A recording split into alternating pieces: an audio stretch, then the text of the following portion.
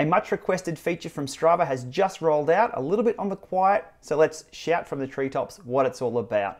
Web photo uploading to your activities is now available.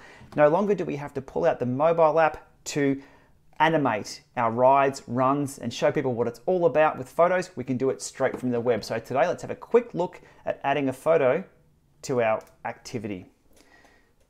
So it's as simple as loading up your web browser, clicking on the edit button there, and down below we have a photos box that we can just drag and drop or select photos there. I'm going to select two photos here, waiting for them to load in. One and two. From there we can remove image, we can set as highlight photo, the same as what we can do on the mobile app. Once we hit save, they'll then pop up in the activity description there or just below the description there, and also on our feed.